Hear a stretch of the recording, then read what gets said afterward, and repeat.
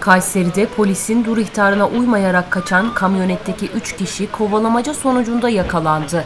Kamyonette yapılan aramada uyuşturucu ele geçirildi. Olay saat 1 sıralarında Melik Gazi ilçesi Aşık Veysel Bulvar üzerinde meydana geldi. Sokağa çıkma kısıtlaması nedeniyle görev yapan polis ekipleri 66 Fatsa Ceyhan 020 plakalı kamyoneti durdurmak istedi.